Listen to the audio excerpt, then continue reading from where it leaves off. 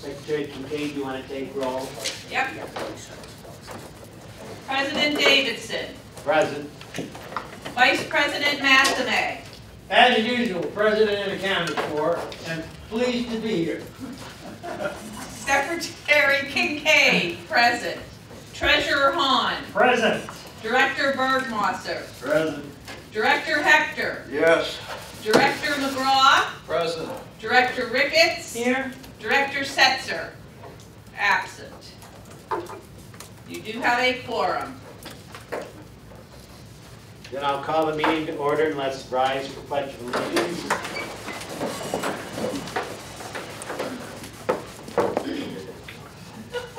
No, it's always a. I pledge allegiance to the flag of the United States of America and to the republic for which it stands, one nation, under God, indivisible, with liberty and justice for all.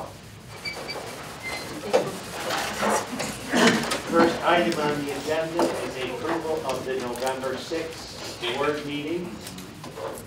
I have a motion for approval. So done. Second, Second. any objection? Having no objection, the minutes from the November 6th board meeting are approved. And therefore, I will turn the meeting over to Keith for the first service manager report.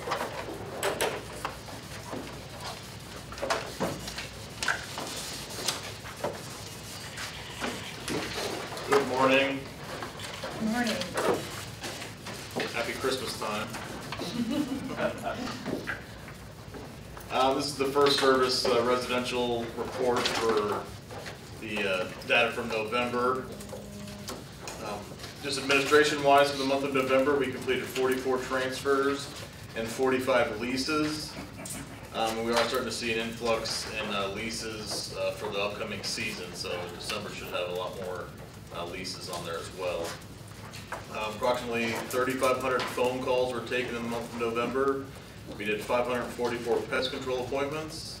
We had over 1,000 people through the front door. And we completed 250 emergency contact form updates. Um, So we appreciate everybody turning those back in when you're getting those from the uh, annual meeting notices in the mail. So please continue to mail those in or email those or drop them off. Uh, The, the CAMs completed 129 alteration form submissions, issued 15 violation letters, which is way down the months before. Now we completed 144 Avid invoice approvals and drew up 16 new contracts. Just again, a note on the annual meetings coming up, um, we're in the middle of the mailings, so in the next couple of weeks, the second mailings for each annual meeting will be sent out to all your individual residents. Uh, This will obviously include the, the budget that everybody's working on, um, any amendments, things like that that will be in the package, as well as the proxy votes for the meeting. Um, And we'll have a nice letter in there from First Service, just kind of uh, outlining some ex- expectations for the annual meetings this year, as COVID has uh, changed some of the way the meetings will be held.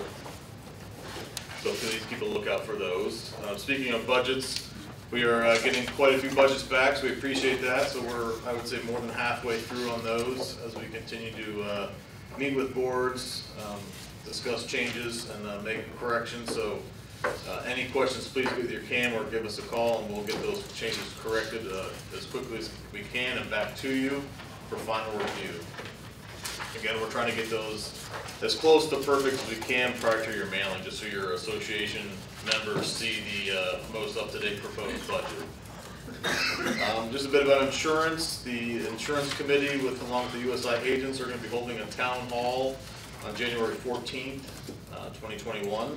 So we're gonna be sending out the invitation um, shortly, which will uh, just give details about that meeting and how it's gonna be set up. And then the next insurance committee meeting will be February fourth, and uh, they'll be starting to get into the, uh, the bidding process for the renewal period that happens in April. Um, The Community Promotions Committee, um, they have finalized their preferred vendor to revamp the community website. Um, They'll be bringing the final approval to the Federation Board, um, and as we proceed to draw a new contract and work that forward. So um, big changes coming there, and they are working through that process. Um, sections two and four with the landscaping again are ending at March thirty-first of twenty twenty-one. We're in the process of updating the uh, contracts and doing a red line revision for the committee and for the board, so they'll have, um, the, the most up-to-date corrections that the landscape committee came up with. Um, so that'll be done pretty soon, and, uh, we'll get that over to the committee for final review, and then get it over to the contracts committee, um, to get that process moving along. The next OLM inspections will be completed December fourteenth, fifteenth, and sixteenth. Palm and oak tree trimmings, the palm trees are still in the second cycle. They are be wrapping up with section three today, and they'll be moving into section four next week. So they are slightly behind, but they are, uh, bringing in a secondary truck to cut downtime, um, out of the, out of the schedule, and hopefully get that wrapped up in the next week or two. Um, We are still um, gathering bids, I mentioned last month, for a revision to the procedures on the palm and oak tree trimmings. So we have currently three new bids in, based on the new guidelines to trim the palms and the oaks, and we're waiting two final bids. Uh, Once we have those, the committee will get to- back together um, in January to review those bids, meet with the vendors, and then bring a, bring a proposal to the uh, Federation Board. Mulch, uh, mulch has wrapped up. There are a couple associations that have a few uh, minor deliveries to be made and corrections to be addressed. And then we're gonna be sending out a survey to the presidents and to the POCs regarding the mulch. Um, Again, this will just give us a better um, handle on what went well, what went bad, and uh, what we can improve on. Um, And we're gonna be bringing additional vendors and bids in for next year's mulch as well, just so everybody knows. Work orders way down for the month of No, for uh, the month of November. Only seven total. Um, Again, average uh, days to close out was five, and this is really because most of the work orders were, uh, were related to the- the uh, palm tree trimming. So again, as those guys were handling, doing it, they, they came back through, so, um, again, only seven total uh, work orders for November. Um, As I mentioned, um, you know, we still have 86 out of 113 associations on our Avid uh, accounts payable system. Uh, We're going to be talking with the presidents um, and the treasurers in the upcoming annual meetings to try to, to get, get more associations on this program. Again, this just helps track and pay invoices in a timely manner and uh, can really help, um, you know, just getting things done. Again, going back and see what you paid a vendor pretty easily, everything's online. Uh, It's a pretty smooth system and uh, pretty efficient, so. Again, after hours emergencies, as we continue through the holidays, please continue to utilize that number. Uh, We get calls, you know, all the time about, you know, various things, even if it's an AC, you know, my AC's out, I need KPW, just give us a call, we'll try to redirect folks um, to the right people, um, or or if we can help them, we will, so. Again, that number is 813-642-8990, and that's all I have. I have a question Yes, sir. on the uh, work orders and such. Can you speak up, Dan, so they can hear you on the phone? On the work orders and such, um, half of the requests for work orders were requests. What is a request? Somebody's looking for a proposal for, uh, to take a tree out, to install something new. It's a, it's a request for additional work.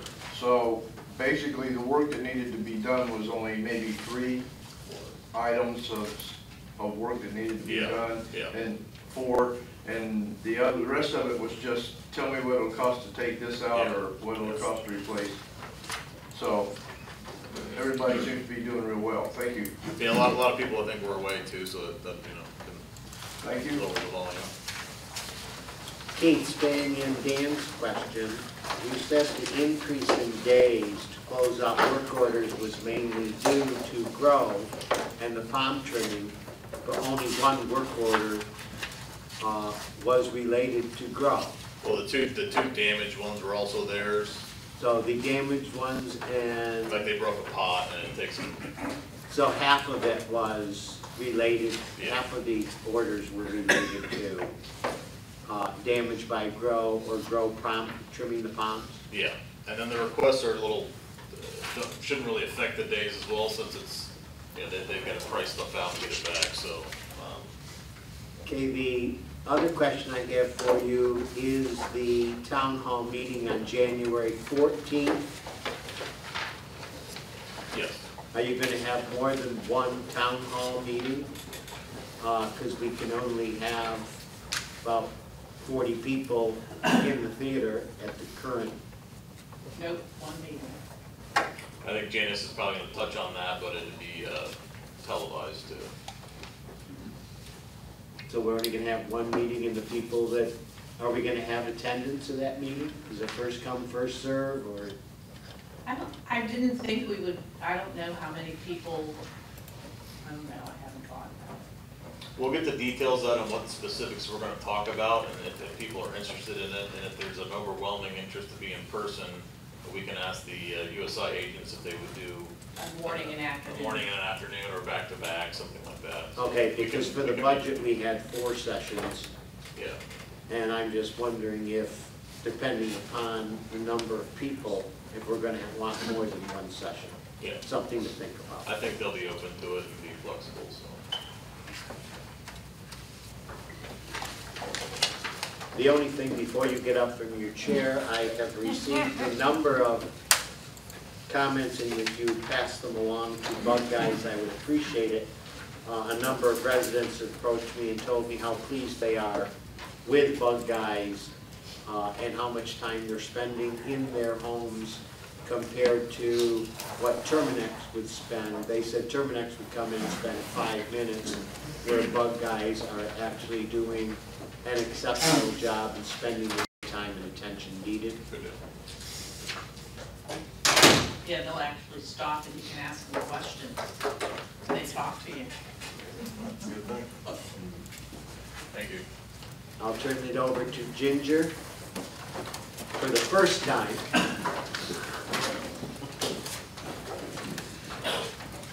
Thirty on the phone. Thirty.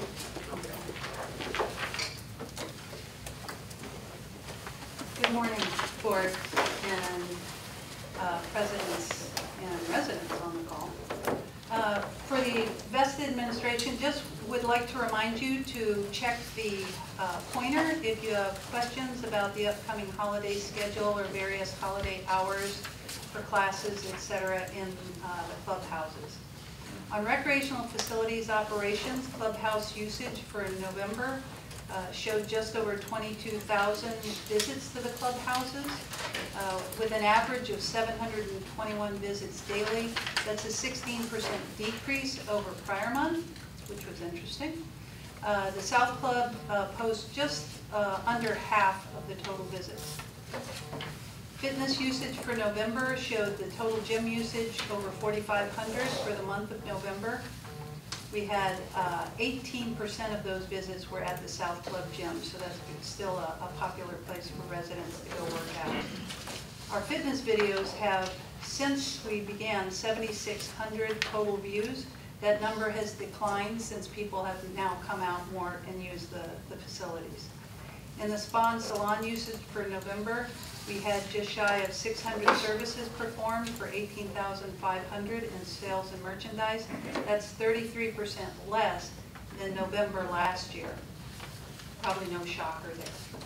Uh, Food and beverage uh, uh, sales for the month of November, total patrons served uh, 4,871 for total sales of 63,700, which was in sales an 11% increase over prior month, but for patrons a 5% decrease. So those folks coming in are are spending more.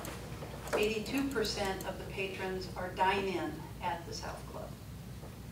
On projects, we have the South Club Pool Expansion Project, which the RFEC uh, will be um, presenting after my report. Uh, The RFEC has approved a motion to submit the plans for the pool deck expansion to the Federation Board for consideration.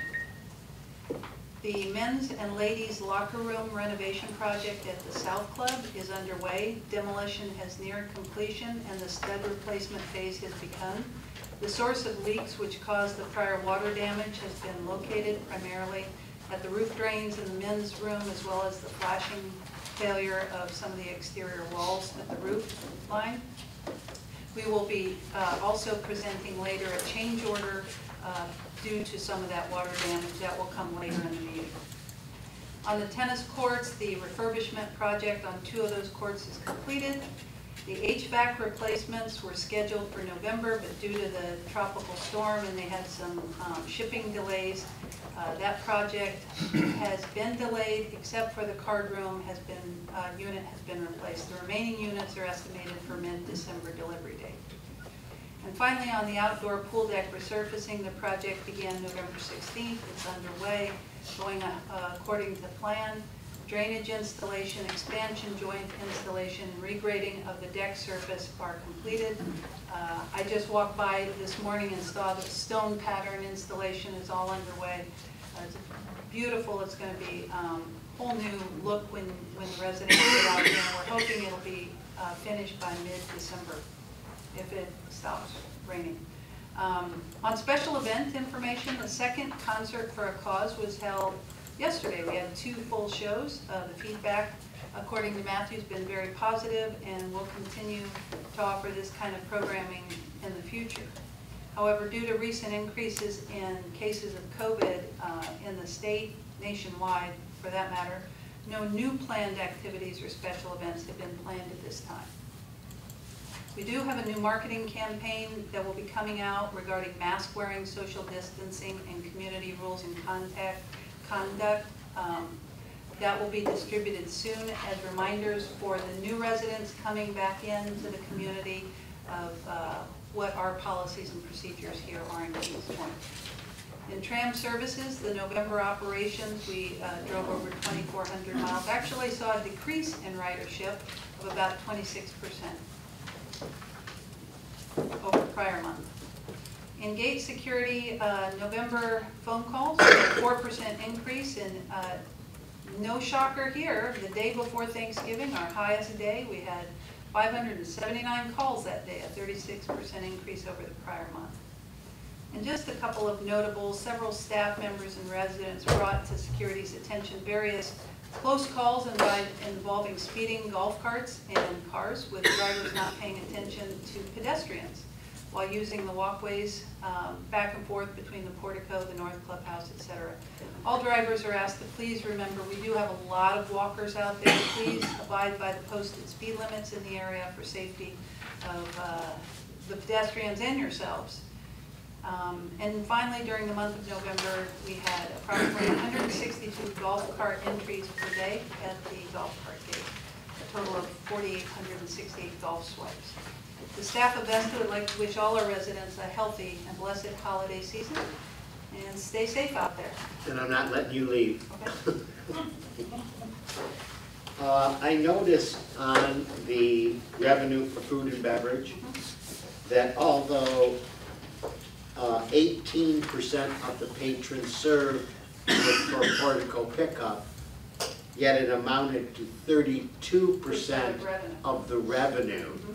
Which I would assume reflects the bar where the tabs would be lower, or what would cause such a, You know, it's, it, it it could be that uh, it's one person picking up, but they're buying for two. Could be that simple. wouldn't they be, I don't know that somebody drive, I, I believe when you guys count them, it's somebody driving up, right, uh, Andrew, and picking up, but he could have ordered for two people in the Correct. household. Mm-hmm. okay, Jack, it was up last month too. Yeah. It's not, It's it's not always about the unusual, same. it's been climbing.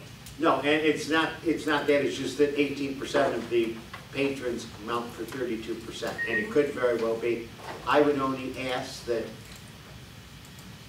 if COVID ends anytime soon, because it seems to be popular with the revenue we get, mm-hmm.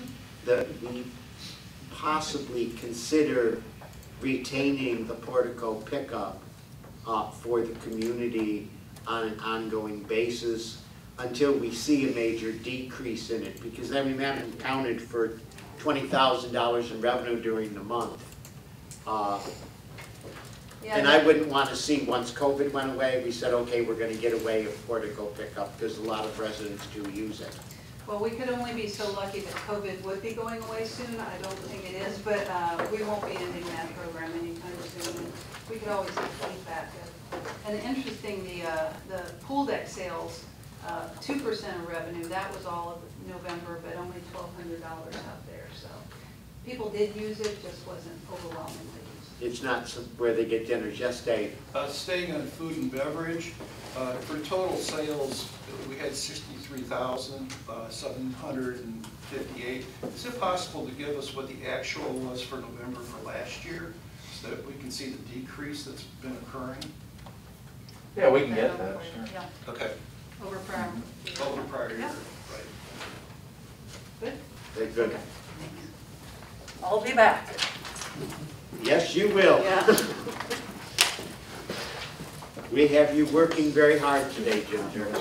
Uh, We'll do committee reports. Uh, Dave, do you have any update on anything? Uh, Nothing to report, other than I'll just amplify what Keith said, that we- we're getting ready for red lines to go over to the uh, contract committee, and hopefully that'll happen over the next week or so. Okay. Noreen, do you have anything? Dan, do you have anything? Speak up.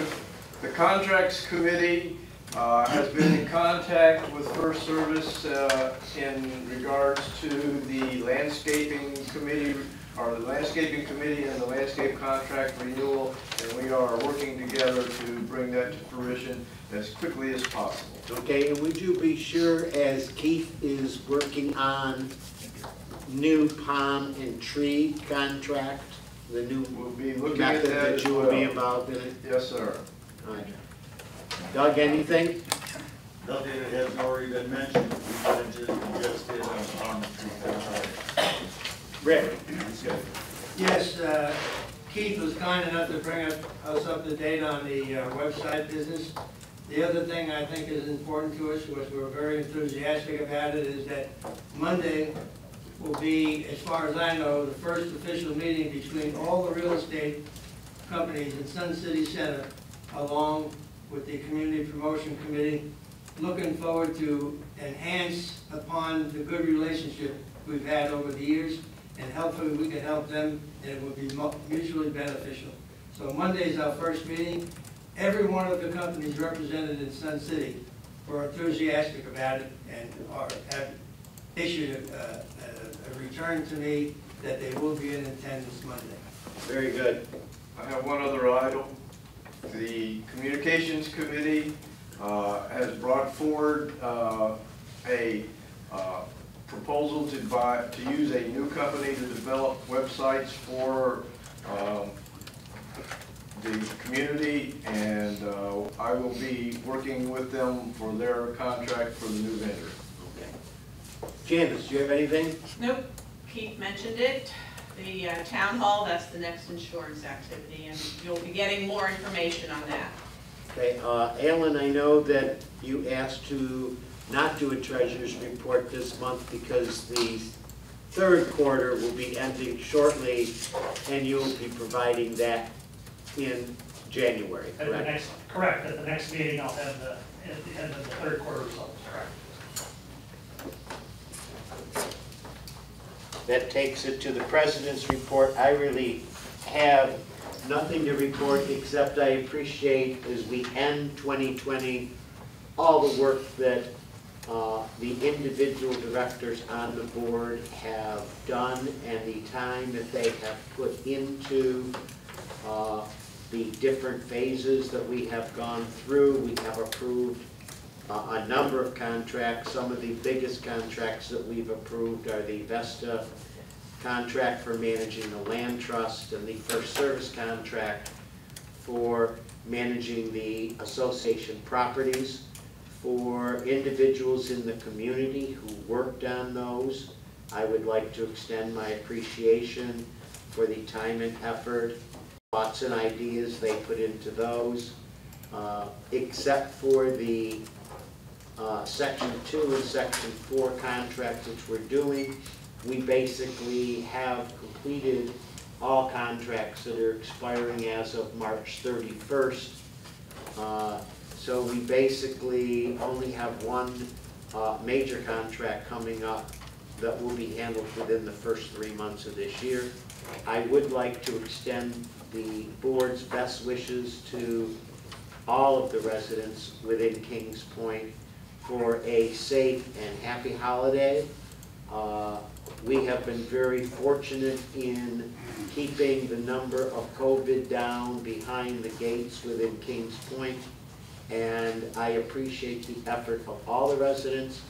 Uh, Probably uh, the one person I would like to call out for our, the board's appreciation is Matt uh, from Vesta, who fields ninety-nine percent of all the calls that we get regarding closures and wearing of face masks and different activities. I know he gets an exceedingly high number of emails every day, meets with residents. And Matt, I would like to extend the board's appreciation to you for that load that you carry and the manner in which you do it. So thank you very much, Matt. I- We, the board appreciates the efforts that you put into it. And outside of that, I just wish you all a very happy holiday. Um, Stay safe. Uh, We need you all. Uh, So let's continue the good efforts that we have done. Jack, do you want to speak on the Survey Monkey, that that's today's uh, last day to reach out? Uh, Just reminder that the uh, Survey Monkey that was sent out through First Service by the Federation Board is due today. I can tell you that Alan uh, has been gathering some information and hopefully can respond. And if we need to extend the deadline for a day or two, we will once the responses are, uh, Alan's responses and uh, Noreen's responses are done.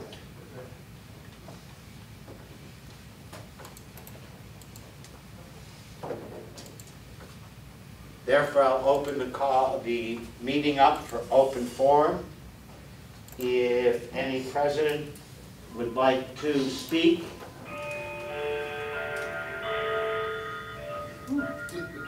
I love who's ever clock that is that's chiming. Uh, If you star six to unmute your phone if you're muted.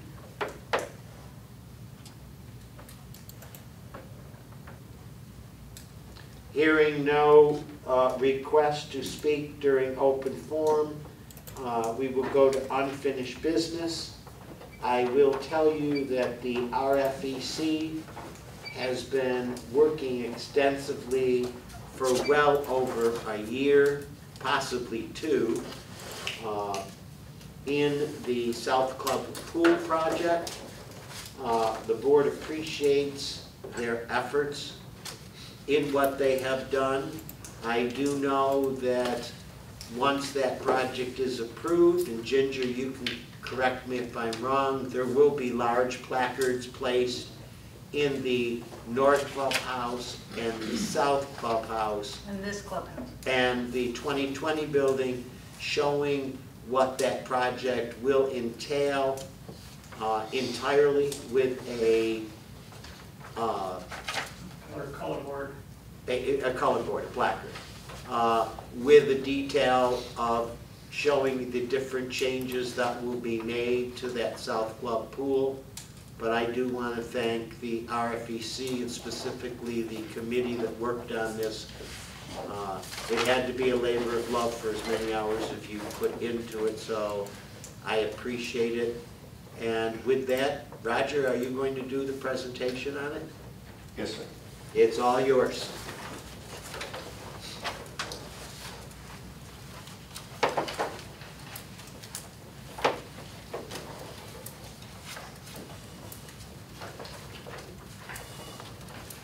Good morning, everyone. The topic of overcrowding at the South Club pool deck has been a topic of discussion within Kings Point since 2011.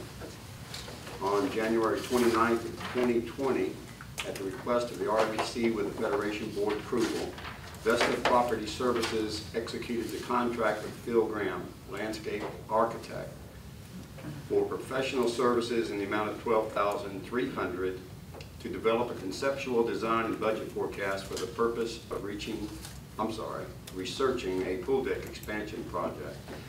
Over the past 10 months, the ad hoc committee, VESTA, and the RFEC have met numerous times to review, critique, and determine a reasonable plan to enhance the amenity for the usage by the Kings Point community. Bill Graham has designed a site plan, which is attached to this document, which depicts the overall layout of the pool deck expansion project and created a preliminary budget proposal, which is attached to achieve the plan. This plan will increase the overall deck space by approximately 7,000 square feet and add an additional 122 seats, which is an increase of 39% capacity. It will also provide for an established food and beverage walk-up service outlet for the enjoyment of light food and beverages during pool events. Finally, a dedicated entertainment area is planned for the highly desirable music programs at the special events scheduled at the South Club Pool.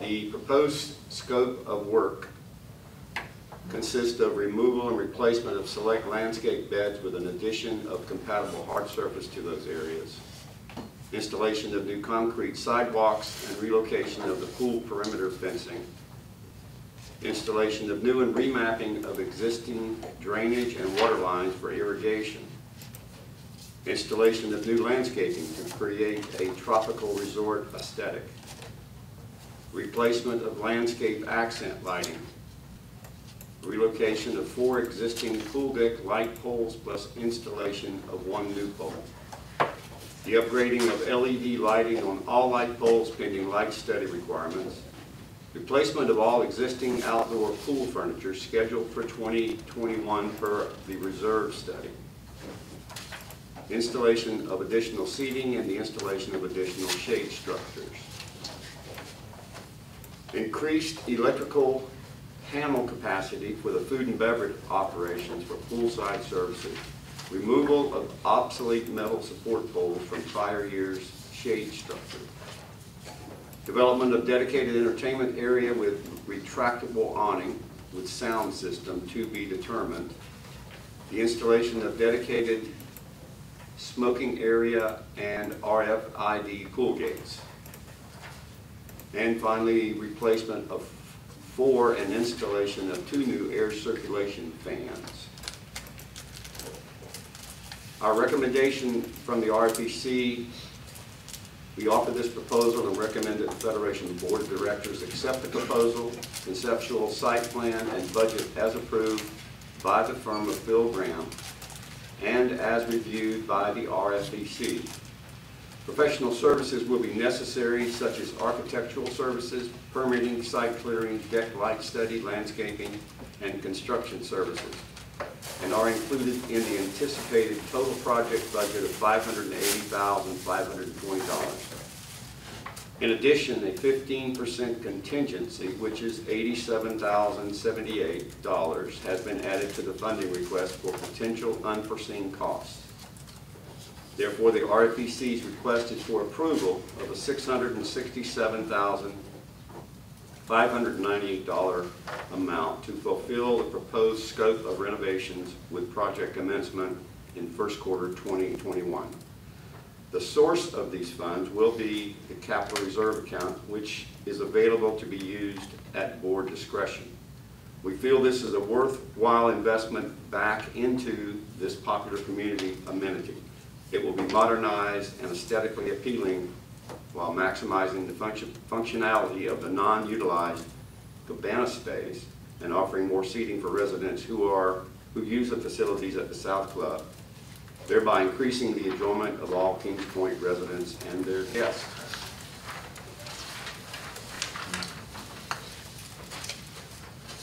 Any questions? Any discussion? Dan? What, what is the plan to do with all the um, old furniture? Are you gonna take some of that to the North Club and replace? I'll let Ginger answer that, or Matt. We haven't discussed it yet. We'll have to assess if they're usable, a lot of it's real old. Ginger, you're gonna have to come up front Yeah. so they can hear you.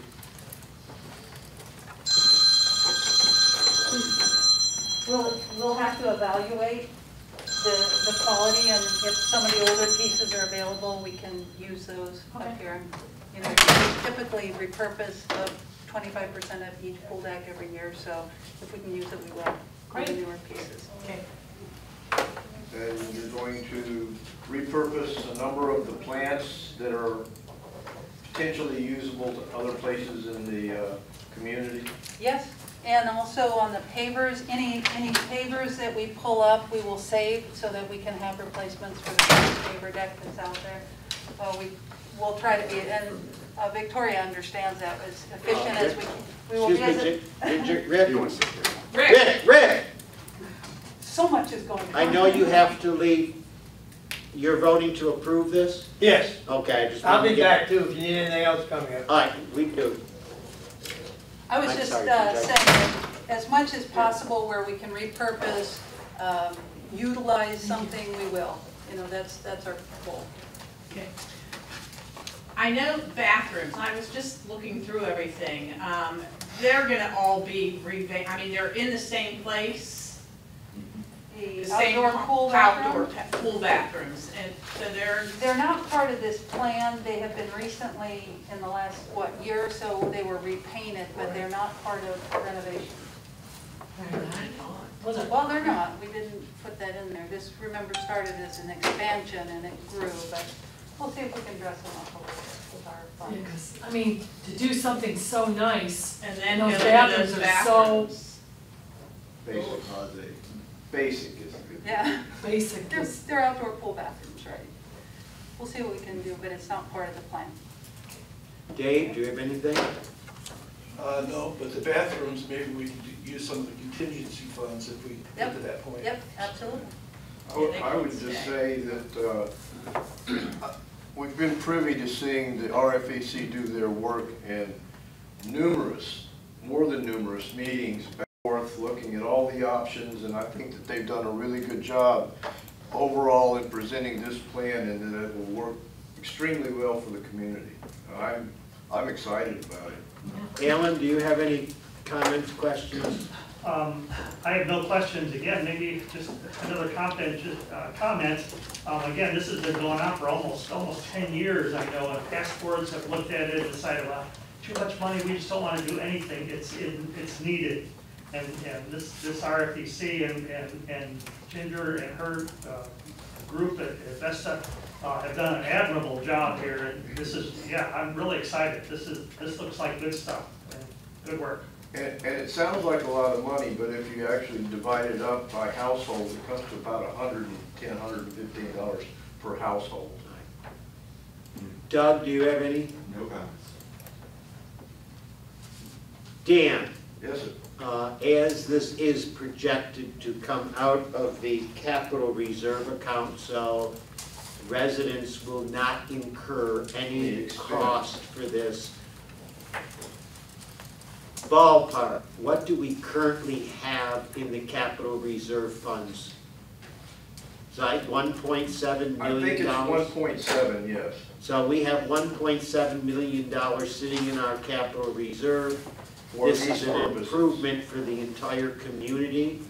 So we're utilizing uh, less than seven hundred thousand dollars of that money that's been sitting there. In no way does It's it, not going to impact the availability of still having a million dollars in that fund to be able to do any capital improvements that's within the correct. community. Am I correct? That is correct.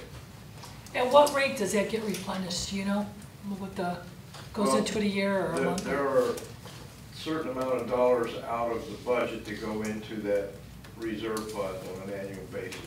Uh, and it fluctuates based on what the, uh, um, survey says we need to do in terms of replacing property, et cetera, et cetera. And then there's another component just for capital expense.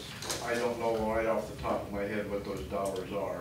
Okay, Um, But it's a part of uh, the monthly collection. But I don't think, Dan, we have put any money into capital expense in the budget, capital No, reserves. no, that came with the uh, refinance uh, And and, the, uh, And additional carry monies that forward. were put in there over the years, so. Yes. But it's not a It's not- part of a budgeted dollar figure to put money into capital reserve. No, it, the money is used for replacing, the money that's in the budget is for replacing items that need to be replaced, like roofs and It's chairs in and that repair and stuff. replacement reserves. Yes, but Not in the that's a capital. separate part of the fund, it's not a capital replacement. And, and if I may, um, to answer your question, it doesn't get renewed with the exception of any surplus to performance year over year of what was budgeted versus what actual performance Ginger, I have a few people on the phone are having a hard time Okay. hearing you. To answer Noreen's question about replenishment, it's really the only thing you could call replenishment is any improvement over performance to plan. Let's just say, uh, we do better than we expected to do by hundred thousand dollars, that goes into that, that, It goes uh, back. that fund. Okay, thank you. It's your money, it's still in the bank account, and that, Thank you. But, but the capital, there are two parts to the capital fund. The capital improvements for new projects, new buildings such as this pool, and the other part is the replacement of items that have to be done on an annual basis. Let me because of the rephrase cost what you're saying. There are two parts of the land trust dollars. There's two reserves. There is a capital improvement reserve, and there is a repair and replacement reserve. They are totally separate reserves. The repair and replacement reserve increases or decreases over a year depending upon what items within the community need repair and replacement. That is the, that is the variable within the budget on a year-to-year basis. It was one of the reasons that the land trust budget increased by four dollars and eighty-some cents was for the repair and replacement uh, reserves and the projects which the Federation Board had approved to be done. Yes, that's what I was trying to clarify. I didn't want people to think that it's just out there and we're doing it willy-nilly. No, we're we're not out there doing it willy-nilly. Basically, the capital reserve has been sitting there. It is a part of the refinancing of the loan where a little over a million dollars was placed into it. We're paying four point four two percent interest on that million dollars, and we have been reaping no benefit of it. This is a major change, in my opinion, to the community, of upgrading the community. The South Club is a very focal point within the community, and it hasn't been touched in about 20 years since the club was originally done. It is a high-use amenity, and basically, as the community ages, we have to make sure, as with anything else, that we improve the amenity uh, so people will want to buy in here, and that is one of the things I believe that the expansion allowed to do is to also upgrade the pool deck area to allow for additional seating. I think Roger mentioned a snack bar, putting in and upgrading the entertainment area, so more into a stage with a retractable awning, uh, taking and segmenting a separate area away from the pool for smoking that can be accessed via a gate, uh, and it is not part or on the pool deck any longer. Uh, These are the things which Kings Point and a community as large as ours needs to be looking at in expenditures. And the good part is that we can do this because previous boards had the foresight to establish a capital reserve fund, which would allow us the money and allow future boards the money to be able to do capital improvements. And to uh, Roger and Peggy, both of the RFEC, and to the RFAC, I want to express my appreciation for the time and effort and the work you put into it. I do not uh, want it to go unrecognized that Victoria, who works at Vesta and is highly involved in many projects that are done, uh, working with the architectural firm, uh, getting drawings and stuff for the RFEC, that Victoria, I appreciate the effort that you put into this project. Uh, Again, it had to be a labor of love uh, for all the work and time and effort you put in in listening to the RFEC, uh, wanting changes on this and wanting changes on that, and you going back and handling. So Victoria, I appreciate the effort you put into it along with the RFEC and the committee. We only had Thank eight you. revisions, not much. Eight revisions that we know of.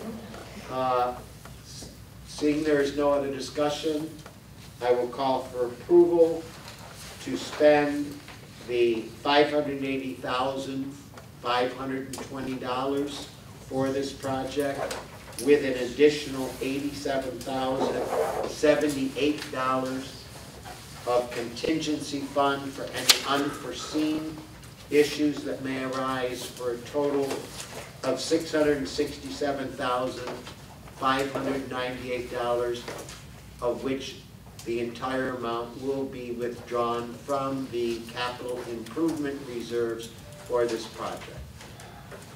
Any objection? Hearing no objection, the motion and recommendation from the RFEC is approved. Woo-hoo! And I know that the RFEC is very happy. And I'm quite sure once the residents see what this project will look like with the poster boards that will be going up, along with the design element key and the design considerations. Ginger, do you know when that will be available within the north clubhouse, the south clubhouse, the 2020 building? Probably within a week. Probably within a week. So sometime next, by the end of next week? Mm-hmm. Okay, thank you. I would just like to make one other comment. You Gotta speak up, Dan. Once the project gets started, the board will have oversight on each and every contract that is made for this project. Um, And we will have, we will approve the specifics of the individual contracts.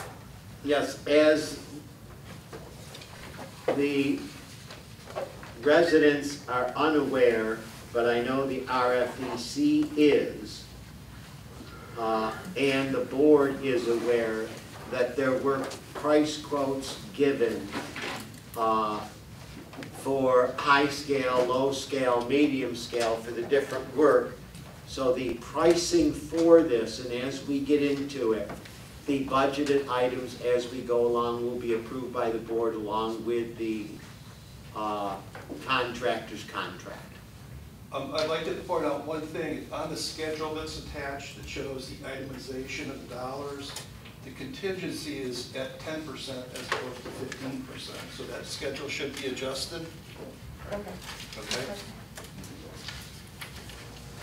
I believe that was a final RFEC change uh, of their recommendation for the board is to take it from 10 to 15 percent.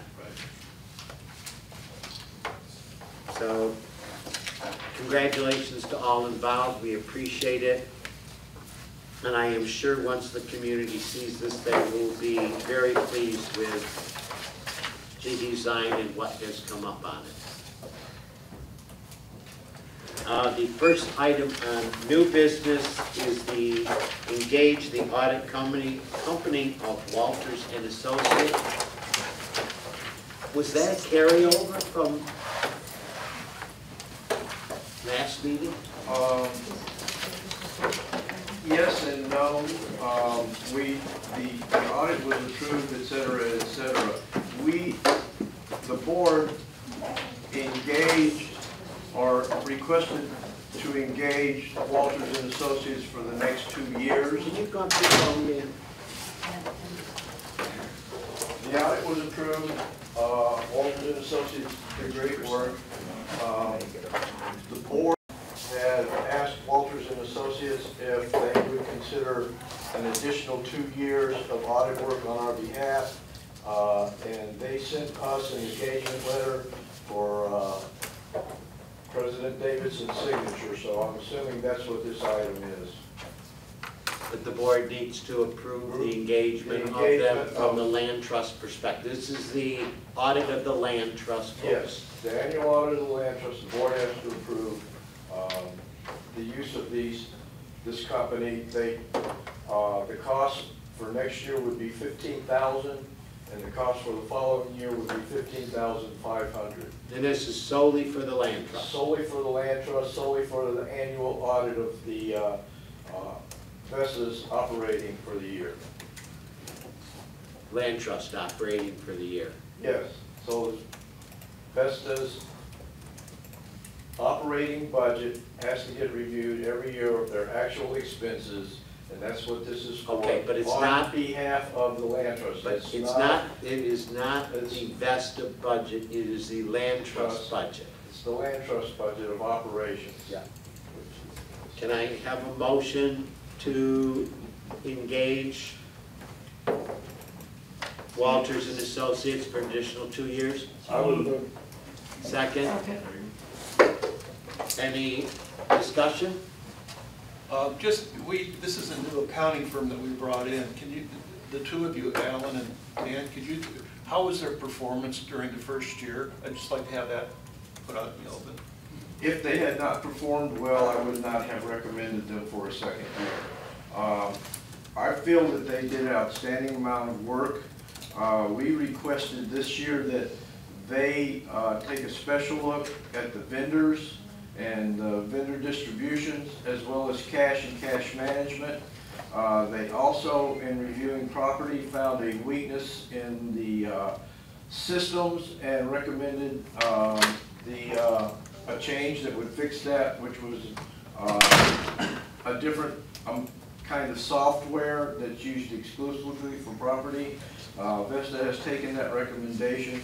Uh, They were considerably less expensive than the prior auditors, and in my opinion, did superior work. And I think, and I don't know if you were here, Dave, because of your surgery when Dan did the second quarter financials, that he had made changes in those financials in the accounting of certain I- assets, which were the direct result of the new audit firm that reviewed the financials and suggested it be done that way. So it seems they did a very extensive uh, review of the land trust financials to make sure they were appropriate. Yeah, I'd like to also say they, they did a good job. Um, there, there's, uh, two philosophies on audit companies. One is that keep an audit company, uh, year after year, they're familiar with the, the, the the job. Each year they can look a little deeper and find some things, and that's a good thing to kind of keep them over. There's another school of thought saying it should be, you should get a new one every five years, because after so many years, it's good to have just new eyes and look at everything fresh. Uh, Our, our previous audit company was here, I think, for about 12 years. They- they- They've been here since the beginning of the land trust. Uh, So they've been doing it for quite a, quite a number of times. This company did a good job. They came in, they looked at a lot of new things, and, and, uh, yeah, the, the report was good. I think they did a great job. This is a good company. Good. Any other discussion? I'll call the vote. Any objection to retaining Walters and Associates CPAs for an additional two years to audit the land trust financials? Hearing no objection, motion is carried.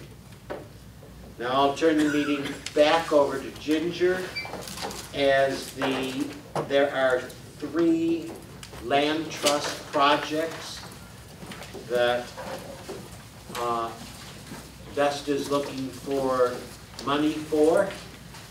Always more money. The season, I guess.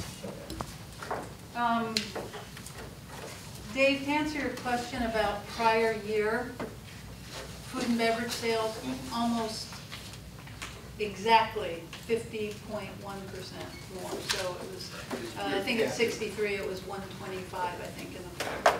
Thank you. Yeah. Want me to start with erosion? That's the Okay. first one on the bill. Yep. All right, um, back in August, uh, the end of August, actually, uh, the very last day of August, Keith, uh, had advised Jack of some concerns he had. They brought it to Vesta to investigate an area of erosion on the southeast corner of the nineteen oh four building. Due to the amount of erosion from underneath the building, the structure had noted, also experienced noticeable structural cracking and also in the foundation. We obtained bids to repair the embankment of the pond wall and presented them to the board. This proposal offers to install also concrete supports under the foundation at the southeast corner as well as the installation of a retaining wall along the adjoining lake embankment. It's recommended to initiate this project as soon as possible during the drier season to avoid further washout and prevent further damages. This is a non-budgeted repair project and will- will require board approval for funding in order to reinforce the eroded area and prevent further structural damage to the building. Vesta obtained three bids, Hecker Construction, Solid Foundation, and Land and Sea Masters. We are recommending the, uh, not the least expensive bid, but the one from Solid Foundations, because they will not only do a longer lineal foot retaining wall, but they will also add foundation supports underneath the structure. The scope of work includes permitting and engineering, installation of the 110 lineal feet of pressure-treated wood retaining wall, retaining wall posts, uh, push piers, 27 yards of backfill soil, uh, installation of some higher-grade gutter pipe extensions, and some installation and site prep of sod and irrigation after all this is done. Vesta recommends that the Federation Board consider the proposal from Solid Foundations with an additional amount for sod installation for a total of thirty-nine thousand two hundred dollars to fulfill the proposed scope of work for repairs at the nineteen oh four building. I would just mention that the 1904 building, for clarity, for people listening, is the building where First Services resides. Correct. Um, May I have a motion to approve the recommendation? So moved. May I have a second? Second. Any discussion? I will tell you that for those of us who have met with First Service in their conference room, that the conference room wall, which is where the corner of the building is, is starting to incur cracks in that conference room wall. This is something that needs to be addressed, uh, or we're going to end up spending a lot more money Or turn it into a patio. or turn it into a patio. Uh, We want to make sure that that building lasts for another 20 or 30 years before uh, its useful life has been diminished. Uh, I would recommend to the board approval of it. Uh, I know First Service would feel a lot safer without having that building possibly collapse in the back corner. I think it could be fun. If there is no other discussion, I will call the question. Any objection?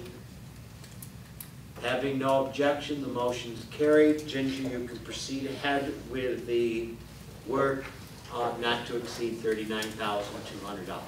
Thank you. All right, let's talk about moisture. Vesta has had concerns about the ceramic tiles releasing from the bonding materials on the concrete subfloor in the clubhouse for some time. In addition, the subfloor in the 20 20 center has had moisture collection beneath the carpet, and these concerns were shared with the Federation Board. We have done numerous tests with various companies. We had uh, calcium chloride tests, relative humidity tests. Your packet shows all of those numbers and explains what they are. I won't read all of that information. But the, the, the problem is there, um, and we have to determine the source of the moisture, location, and possible resolutions or remedies going forward for how we uh, not only do replacement of carpet and tile, but perhaps have to mitigate uh, where the moisture is coming from. We did have three ben- uh, vendors, I think you tried a couple others. Uh, We had one decline to bid, the project was just too big and complex for them. Uh, Suncoast Inspection did provide a bid of 5,500 inspections for all the facilities. And we also contacted Expert Water Removal. The engineer has just made it to the site, I believe, Tuesday. Uh, So we have not received his bid with an estimated uh, project scope or cost. After evaluating these test results and due to the continued concerns of moisture levels in all three facilities, as well as the floating tile in the main clubhouse, but in absence of the third bid yet, Vesta recommends the board approve a not-to-exceed amount of $7,500 to contract a vendor to further investigate the source of the ongoing moisture concerns and provide a written report of findings which will provide us with possible remedies and solutions going forward. Should the bid from expert water removal be of better value, we will award them the job. If not, we will accept the proposal from Suncoast Inspections for 5500 for the following elements in their proposed scope, which is an inspection, a written report of the findings, and remedies and solutions to address it. We feel this investment provides additional specialized knowledge, which Vesta does not have, with which we will be better equipped to plan for the future and understand the full scope of the preliminary work that will be required to repair and replace the clubhouse flooring. So, I would move that the board approve a not-to-exceed amount of seventy-five hundred dollars to hire a moisture detention, detection expert uh, to determine where the moisture within the 2020 North Club and South Club is coming from and what their proposed resolution would be. Can I have a, Not South Club, right, just north and 2020? It's all three. It's all three. Right, because you have South Club Russ. We are built on a swamp. Yeah, exactly. Where's South Club? Is that the middle house?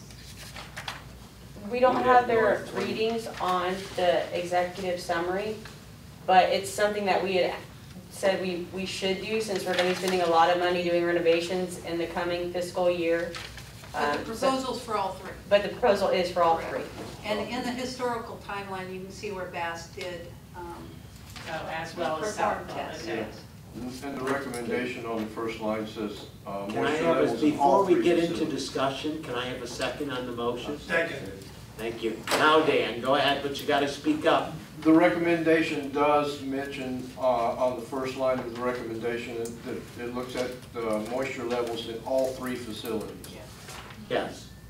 So the seventy-five hundred dollars covers all of the buildings that we feel we have a problem with. And again, I'd just like to mention that all of these buildings are, our entire complex is built on a swamp. So, uh, after forty years or so, this is not something that should not have been unanticipated. On the what? A swamp. Swamp. Swampland. Swampland. Nature preserve. So, this is a reasonable, a reasonable expectation, and I think it's a reasonable cost to figure out where, where the water's coming from. We've been looking at that for almost a year now in different options. Repaired some piecemeal, and it, some places it's worked, most places it has not. But until we determine where the moisture is coming from, which is a moisture detection expert, uh, we're just going to be uh, putting a Band-Aid on an issue and not resolving the issue. Exactly. And to me, the land trust would be uh, well advised to spend the money to have this done for the facilities which it owns. Any objection to providing a not-to-exceed uh, cost of seventy-five hundred dollars? Quite obviously, we would look at the contract from, uh, and the final RFP quote uh, prior to any work proceeding.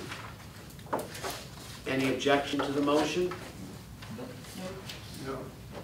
Motion is passed, and Ginger, you can now have Victoria proceed with this one.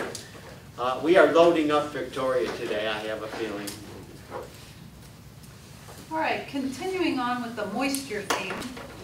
uh, In mid-November, as the South Club uh, restroom renovation project was underway, regrettably, the contractor advised Vesta of significant areas of water damage that had been discovered in both men's and women's restrooms. This is part of why we need some of that um, work done to identify exactly where these things are coming from. The sources of water, uh, as as defined by what the con- contractor could see, were improper installation of shower pan liners, insufficient moisture barrier of the sauna walls. Uh, They had some leaking of piping at the connection to the roof drain. Uh, There's a gap in the concrete subfloor, so there's various areas uh, where water uh, over the 20 years of that clubhouse has intruded according to the contractor. I mean, he's not a water intrusion specialist, he was just noting that these areas uh, were there.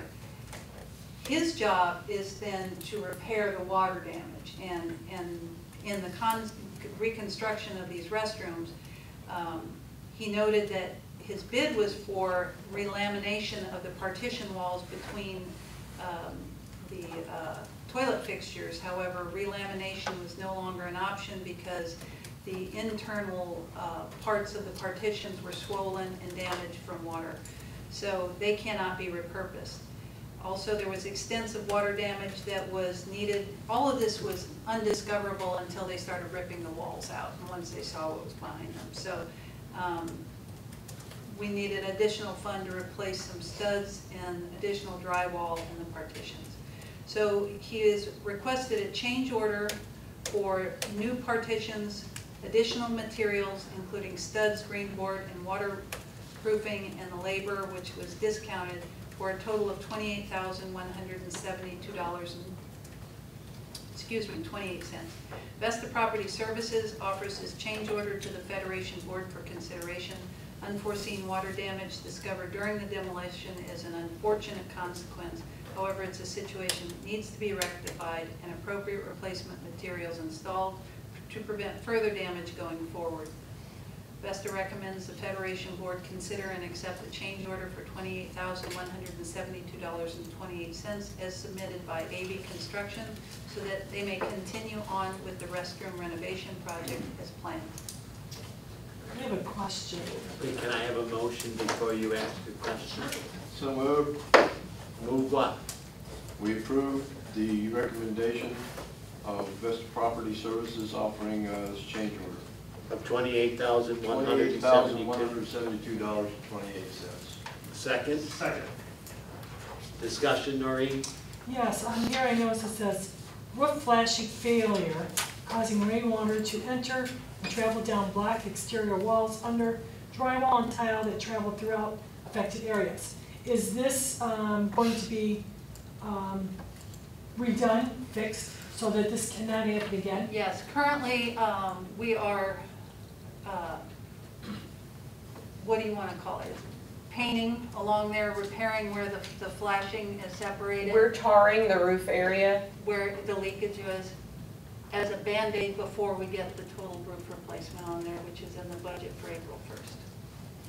So we're putting on a Band-Aid, Just Yeah. along the flashing wall where the, the Till the seepage is. Because the roof is being re- fully replaced In next the year. next year budget, and we're so all, is this, this is pretty much guaranteed that that will stop the Prevent. problem from happening?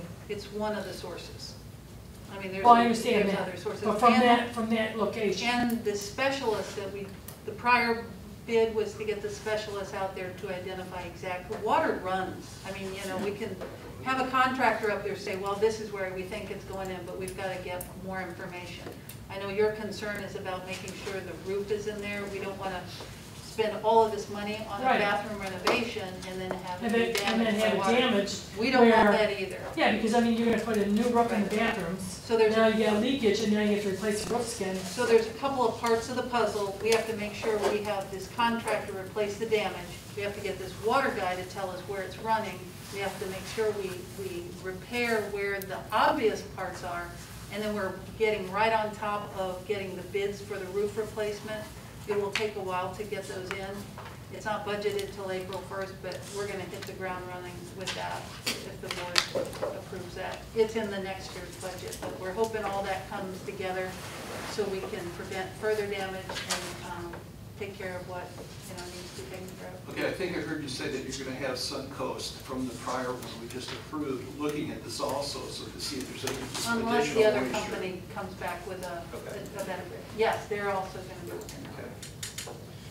Is that all correct, Victoria, did I? Yes, ma'am, and we do have two roof bids currently, I'm just pending a third, so actively working on getting that taken care of for Yeah, us. that's a, that's a different project, but it's all part of the same puzzle. Correct. Let, let me make, clarify, the moisture guy is gonna decide where the moisture is coming from before this guy starts closing up walls again? That's different moisture guy. We are hoping that he can look at it while the walls are open, but we need to schedule that with him. Now that the water specialist has, uh, well, if you get your bid back, if this water expert guy delays much, we're probably just gonna have to go with Suncoast, Correct. right?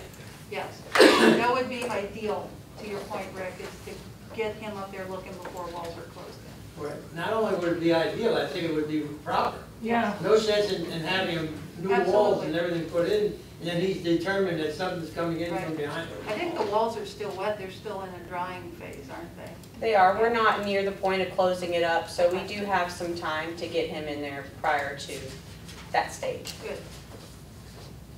Have we looked at any liability from the prior roofer not putting the flashing on correctly?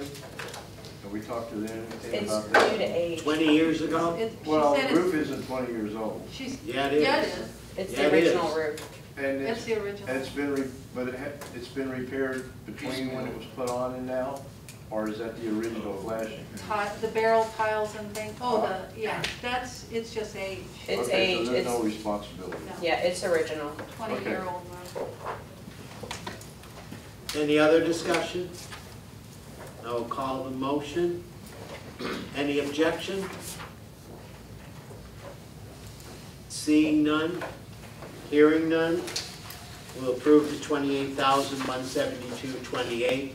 And Ginger, before you leave, uh, the board would like in the future, when we do a project of this size, because if I remember correctly, the entire project was worth like hundred and ninety thousand some odd dollars, that in the future, when you bring to the board, uh, work for the land trust, that you include a contingency in such as we did for the pool. So if we do run into things, we don't have to go back and get uh, board approval for the land trust to spend the money because it's already been approved. More than happy. Yeah, hindsight is, is twenty twenty, and I find no fault that we hadn't done it in the past. Uh, But I think going forward, having contingencies is a good idea, and it will help save a lot of time and effort in the future. I'm gonna run back to my chair before you all hit me if I ask for more money, so. Ginger, you Oh, you asked for a lot of money today. Yeah. Merry Christmas. Uh, With that. Uh, I will open up the call for good and welfare. Again, if you are muted, if you hit star six, you unmute.